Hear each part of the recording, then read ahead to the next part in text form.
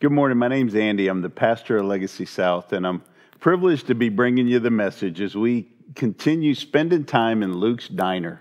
We've been looking at the people uh, in the Gospel of Luke this Lenten season. We've been looking at John the Baptist who prepared the way, the disciples, the 12 inner circle, and the 72 that were all sent.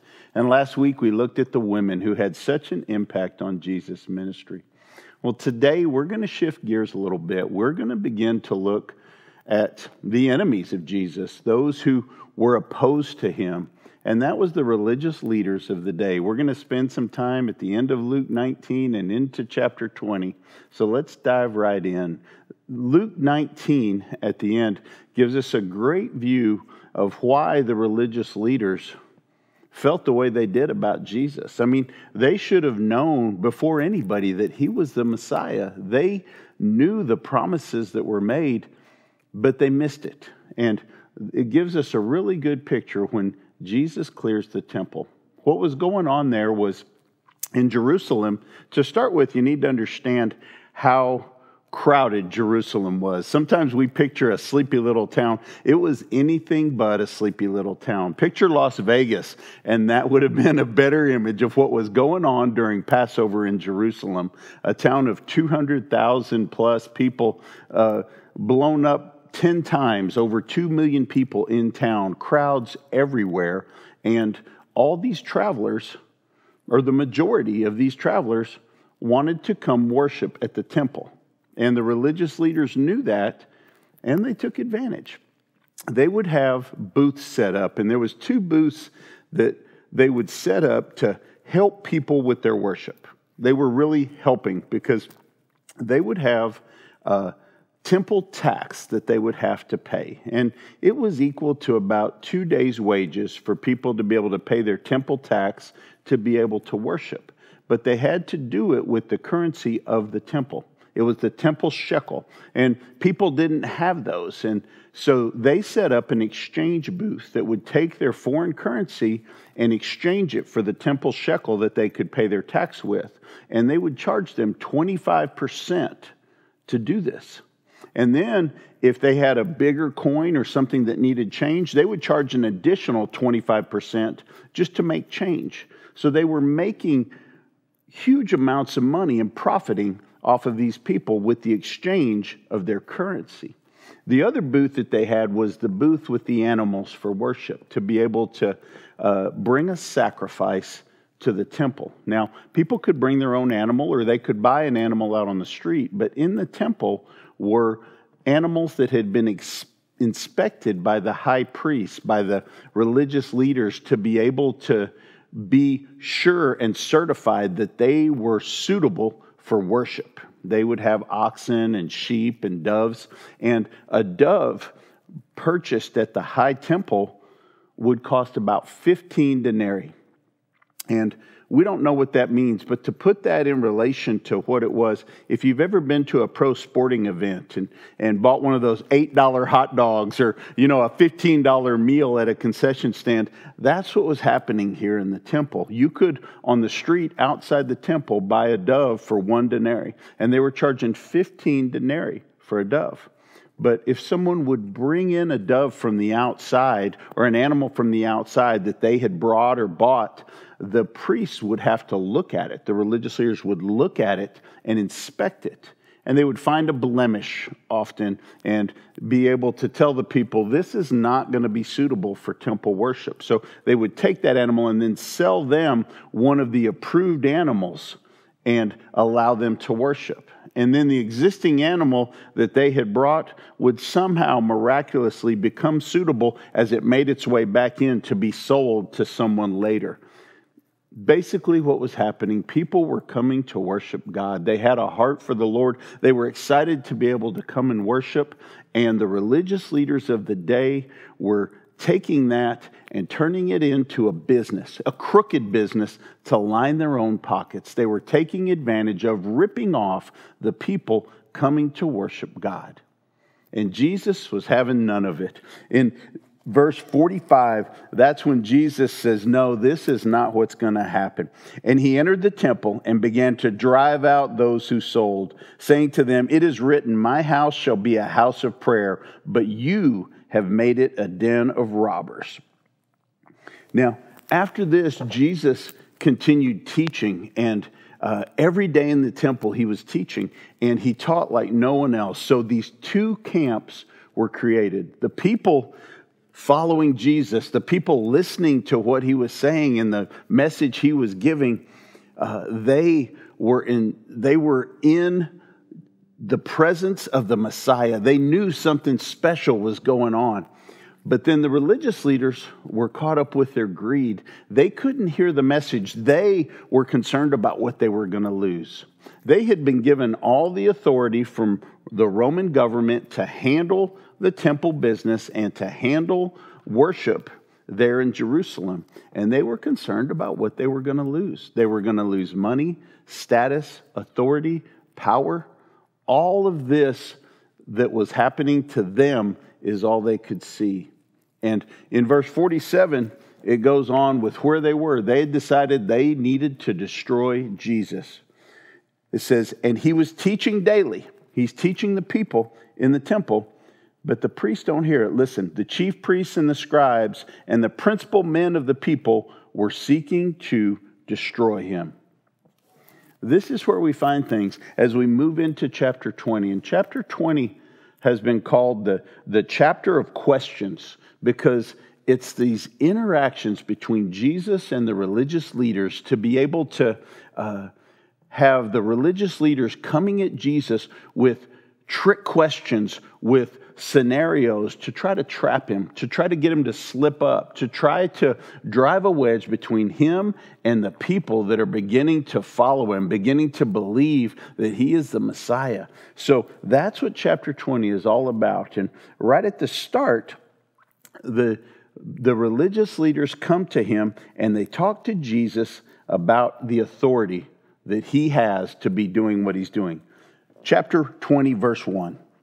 One day, as Jesus was teaching the people in the temple and preaching the gospel, the chief priests and the scribes with the elders came up and said to him, Tell us by what authority you do these things, or who it is that gave you this authority. So, this is the first run of the religious leaders at Jesus. They're questioning his authority. And who gave you this authority? And what they were looking for was for Jesus to say God because that would have been Jesus automatically being blasphemous. They would have been able to arrest him on the spot and stone him. And that's what they wanted. They wanted Jesus dead because he was going to take away from them all the money, all the power, everything they had. But Jesus answers them in a way they don't expect. He answered them, I also will ask you a question. Now tell me, was the baptism of John from heaven or from man? Now, Jesus isn't being evasive here. He's being a good rabbi. Rabbis would often teach by asking questions. They would be given a question and they would return it with a question to really get people thinking, to be able to dig into what really is the truth. So, this is a practice that happened common in this time. But Jesus gives them this question. They had asked him a question that was a catch 22. There was no way for him to really come out of that well, but he turns it right back around on them with a question that they are going to be caught with because the religious leaders of the day did not recognize John the Baptist as a prophet. But the crowd all did. So they were in a spot. The crowd believed John was a prophet, and so this is where they find themselves. Verse 5 And they discussed it with one another, saying, If we say from heaven, he will say, Why did you not believe him? But if we say from man, all the people will stone us to death, for they are convinced that John was a prophet. So they answered that they did not know where it came from. And Jesus said to them, Neither will I tell you by what authority I do these things. So, if you've ever watched the game show Family Feud, this was a Family Feud moment for the religious leaders. Jesus gives them this question, and they huddle together to come up with what the answer would be. They wanted to say that it was from man. They didn't recognize John, but they couldn't because they knew what would happen to them because of the crowd. So they had to answer, I don't know they continued to drop down in the eyes of the crowd, and Jesus continued to elevate in the eyes of the people because they were, once again, trapped.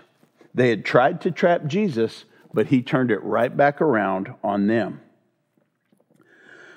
So, the rest of this chapter is similar encounters. Jesus tells a parable that really upsets the religious leaders, and then he proceeds to answer questions by them, all trying to trap him. Do we pay taxes to Caesar? Um, what about the resurrection? And Jesus answers all of them incredibly wisely and without letting the religious leaders have any ammunition, any foothold to be able to attack him. Not because he was afraid of being attacked, but because his time had not yet come. He knew the timing God had for what he was there to do. And that was coming in just a couple of days in the garden, but it wasn't there yet. So, one of the things that Jesus did on this, as you go through this chapter at the very end, is he continued to go back and forth with the religious leaders in this conflict that they had. But then he warns his disciples at the very end. And this is very telling of where the religious leaders and Jesus' relationship was. Verse 45. And in the hearing of all the people, he said to his disciples, All the people could hear this as he talks to his disciples Beware of the scribes who like to walk around in long robes and love greetings in the marketplaces and the best seats in the synagogues and the places of honor at feasts, who devour widows' houses and for a pretense make long prayers. They will receive the greater condemnation these Pharisees, these religious leaders, these scribes, these high priests were not godly men. They should have recognized Jesus as the Messiah, the chosen one, the King of kings, but they couldn't because they were blinded by their own wants, their own desires, their own greed. So, from this, I have two questions for us. Are we sometimes like these religious leaders? Now, I'm not saying that we take advantage of widows' houses or, or prey on the underprivileged or that we're crooked. That's not what I'm saying. But do we sometimes have what I would call Pharisee tendencies? In my own life, I know where it usually shows up would be in two ways. One would be pride, pride and arrogance. Sometimes I'll put myself up above my fellow man. And that's exactly what these religious leaders did. And that's not what we're called to do. Do we ever put ourselves up above someone else? Maybe we're more blessed than someone else. Maybe we have more than someone else materially, but no one is better than anyone else. We are all created in the image of God. We all are valued by God, and we all need to treat each other equally. That's something that's critically important. The other one I would ask is what's the authority in our lives? Sometimes it's just like these religious leaders it's career, it's money, maybe it's family. There's all sorts of things that can be the authority in our lives, but it's supposed to be God. If God's the authority in our lives, it shows. If God's the authority in our lives, it shows. Our attitudes show it. Our conversations show it. Our decisions reflect it. That's the type of people we are called to be. I've got some habits for you, three habits to give you to kind of help us along this path. And they're simple, they've been heard before, but they're important. The first habit I would say would be living with an attitude of gratitude, living a life of praise, recognizing that we all deserve that cross of Calvary. We all deserve death because we're sinners. And Jesus said, No, I am going to take that for you. And because he did what he did, we are saved. We should be so thankful for that every single day. And that should reflect in our lives and how we treat other people. The second habit, I would say, is time in the Word of God. Daily time in the Word of God. I don't care if it's one verse every day. Pick a verse a week, read it every day, commit that to memory, and that is going to change who has or what has the authority in your life. Scripture in our lives impacts the way we live. That's the truth. Being in God's Word daily is required. If all you're being fed is this Sunday morning message, my friends, it's not enough. We need to be in the Word every day. The third one is our prayer life daily communication with God. He's waiting right there for us to come to Him every single day. We need to take the time to be in communication with our Father. That helps us on that path. These three habits, practiced daily in our lives, will show results. And the results I'm talking about are not necessarily uh, huge things that everybody will see. I'm not saying we're going to be preaching the gospel and praying for people on street corners. I'm not saying we're not, but it will show up in the small details of the way we live our lives. It will show who has authority in our lives.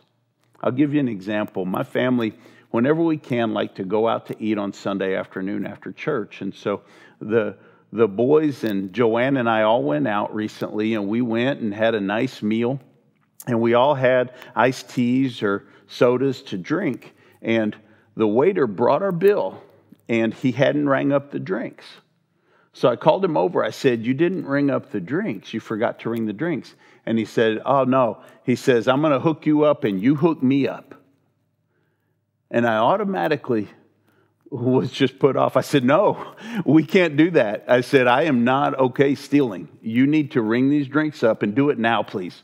And he got a little flustered. He went and rang up the drinks and brought our bill back, and we paid and tipped and we left. And that might not sound like a big deal at all, but you know what? In that moment, you know who saw that? Is my boys.